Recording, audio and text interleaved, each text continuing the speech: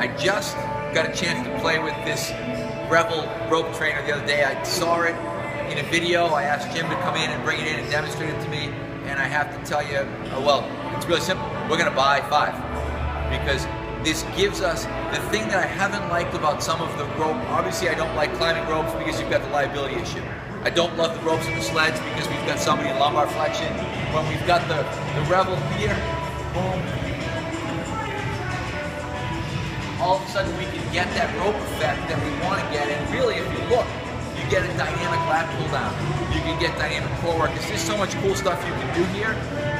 It's going to allow us to me, I always look and think, is there a piece that gives us a dimension that we don't have?